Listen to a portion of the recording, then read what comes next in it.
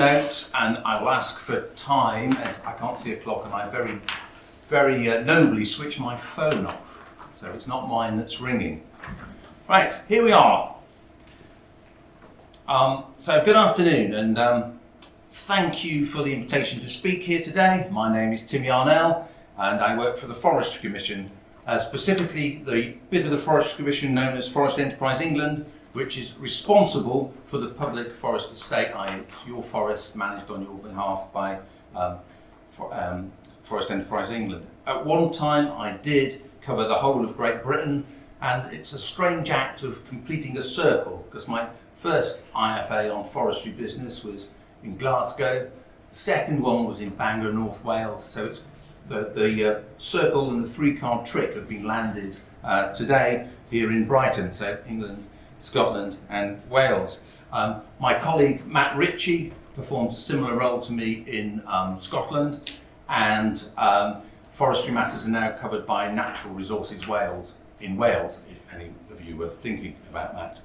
Right, um, what did we do with those shapes? This is where the first, you find out how remote it is. Oh, that's the pointer of it.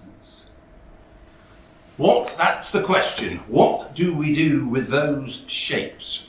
Right, the question in the title arose from comments made by a colleague who was responsible for an area, so can you see that? Shall I? Yeah. Um, an area of wooded land, you've got to imagine that's got forest across the top of it, and, it, and he was talking to um, an enthusiastic um, archaeologist, no names mentioned, but he's standing before you, uh, who, had, who was trying to introduce the terrain models of second return uh, uh, LiDAR data to his colleagues as something that's going to make their lives easier. Um, so, and his question was, what do we do with those shapes? And at that point, um, it did strike me that we're talking about collaborative approaches in challenging landscapes, and woodland is pretty challenging for a variety of reasons. And the first thing that we as archaeologists often have to remember is that there are usually many players with different objectives operating in the landscapes that um, we um, ourselves are looking at. And this is ideally illustrated in many ways by the public forest estate uh, in, in, in, in uh, England.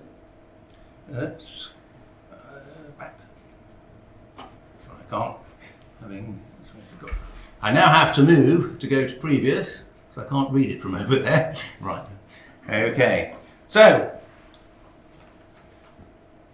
Forest Estate is 252, or, or with a quarter of a million hectares, the Forest Enterprise is responsible for a little under 20% of the woods and forests in England.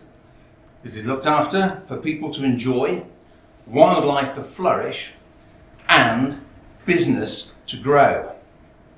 It's a place for many things, including, uh, including nature and heritage. There are over 6 million visitors to the key promoted hubs across the estate and in excess of 200 million visits as well. So that's a lot of people going to a lot of places. Now, the heritage, I'll actually return to the, the, the slide, but the heritage assets of the estate are extensive in number and date range. Um, the soundbite I preferred was we have stuff from the Neanderthal to the nuclear age, but uh, someone who knows a lot more about deeper prehistory than me pointed out that um, we have things much earlier than Neanderthal, so we're going to Paleolithic to uh, nuclear age uh, is what we talk about. We have sections of Grimsditch, Wansdyke, Offa's and several kilometres of Warren Banks are also in our care.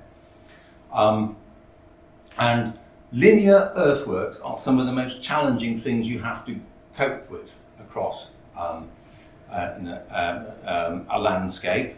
Um, we have a fair share, but there's a later paper to um, look at this on, on Offa's Dyke. However, significance is a challenge not as a whole, we know what they represent, but the significance of the small sections where somebody wants to do something, sort of bigging that up when they're saying, well, you've got X number of kilometres, which look pretty the same to me. Um, that's right. Okay, the acronyms that are on the slide. Uh, hopefully, in a world of professionals like this, you can read them all off and you know what they are. Um, so area, site, special scientific interest, SAC, scheduled monument, SAC special area of conservation. RPG is, in this context, um, registered park and garden. If you're going to hear Richard Osgood later on Defence Estates, it may mean something else. Um, AW Ancient Woodland and PAWS Plantation on ancient woodland sites. Now, I've reeled them off, but they are part and parcel of what's reeling around in many land managers' heads. They have got to deal with things under all those things, often in the same place on the ground. So often has to you have to synthesize with other uh, or synthesis or synthesize with other objectives. The acronym can dictate what happens. So a barrow, just as an example, a, a round barrow with 1970s softwood productive, what some people call productive woodland on it may be treated one way. That might differ from the same monument, but which or a similar monument, which has a veteran oak tree on top of it, but is situated in an ancient woodland, which might differ from one which is in a registered park and garden, but with a clump on it as part of an eye catcher, which may also uh, differ um, from you know, uh, other, others that are, that are lying around. So I've just sketched three scenarios for one thing where you might have to take a different approach. Removing trees from a heathland SSSI, SSSI's big thing, is also a, uh, a challenge sometimes if done well, i.e. no de-stumping, it can be extremely beneficial. So we have to, sit, you know, as I've said, look at other people's objectives, make sure they uh, are aware of ours, but we have to be careful that we, we don't engage in a, um, a sort of conservation game of top trumps uh, which in some areas can be quite challenging. We have to bring all the cards to the table and try and make a good hand out of it for everybody, if at all possible. Um, we should, of course, I've talked about a single site, but we should, of course, never overlook the trees and particularly the forests themselves. Um, places like the New Forest and the Forest of Dean are particularly important and iconic in language, literature, place. So we have to bear that in mind as well. going to go for it. And this is just to refresh everybody's mind.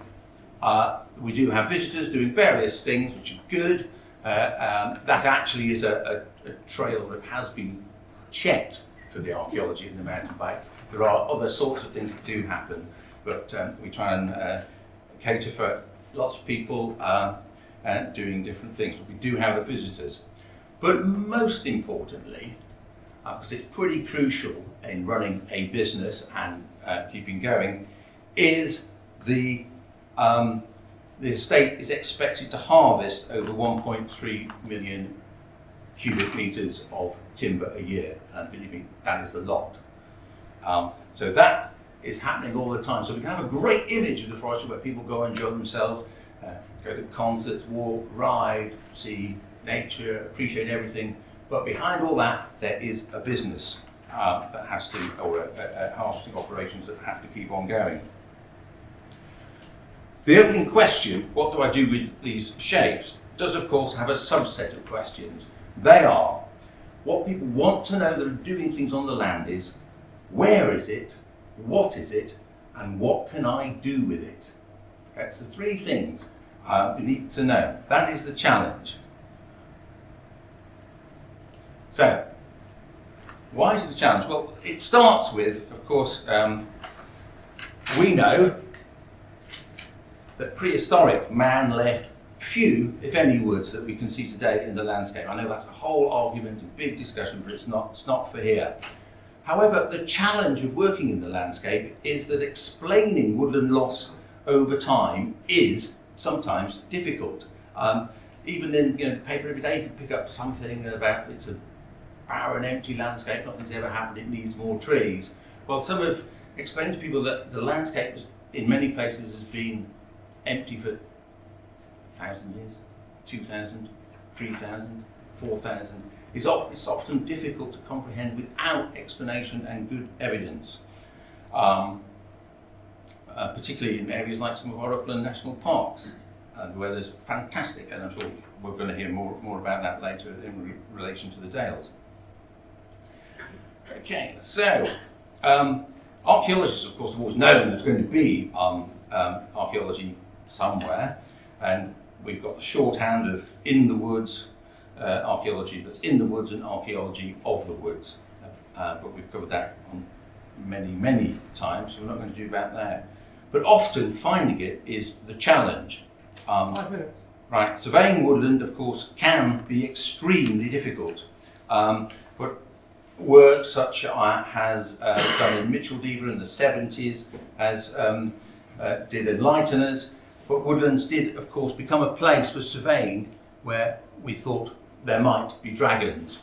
So here is about finding the dragons, and over uh, recent years, uh, we've made great use, or my colleagues in forest research have engaged with a number of projects, some tactical for the Forestry Commission, uh, some with partnerships with others, using LiDAR um, survey.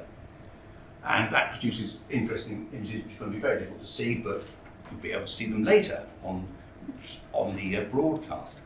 Um, so that is, uh, uh, I'll talk, won't talk about that. I must credit my colleague Peter Crow, who works for Forest Research, for doing a lot of this stuff and do strongly recommend reading The Light Fantastic in whatever version it is now, uh, produced by um, Historic England with a chapter on woodland uh, in it by, by, by Peter. All of these things have produced results. That uh, was the original, um, um, I'm sure you've all hello, uh, seen that. That's the, the Welshbury site, and you, you, you remove and you get excellent things. But that was a great thing. There's always a buzz of excitement about when you see LiDAR opening the door. But having the images is just the start, and we want more to understand the significance. We're quite keen on more validation projects, which are great, and research which has flown, uh, flown uh, has come out of this, often involving community projects, but with excavation and also universities being involved. The questions, research questions, can exist uh, uh, alongside um, management and must be there if we're going to assist in explaining the significance of what we're dealing with. It is important that we researchers encourage to continue after the buzz of big projects dies down. So returning to my Forester, this, um, I'll move towards the screen a moment. This is a first return. We know there are bits in woodlands. If you walk to this site not far away from here, that's the scheduled monument, that's the wooden cover. So pity the poor forester who gets told, oh, we've done some more LiDAR work over your forest. This is what's there.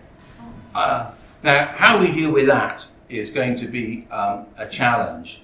But what we do is make sure that everyone is aware of that. And then we have to look at sites, drop the site. You've just got to think of it as a place where things happen and where we can all work together to increase the understanding. So, remember the question, what do we do with those shapes? The answer is, I tell my colleagues, you've just got to remember the cue. At which point, they say what, and you say, our role, particularly you as operational staff with the machines and doing the planning, we are there to conserve as much of the evidence as is possible and correct to do so. We work with others, even though we have some, many of my colleagues are, are deeply knowledgeable on, on, on subjects, but we do make sure we've got a full picture by working with others to understand what it is. Because without the understanding, you're really just guessing and you know sticking your finger in the wind and stuff. But most and most importantly, it is crucial that we enjoy what we're doing, and so then what we have conserved for the future is there to be understood and enjoyed by the many millions of visits that do, uh, that do visit our public forest estate with its magnificent heritage from at least the Neanderthal through to the nuclear age. Thank you very much.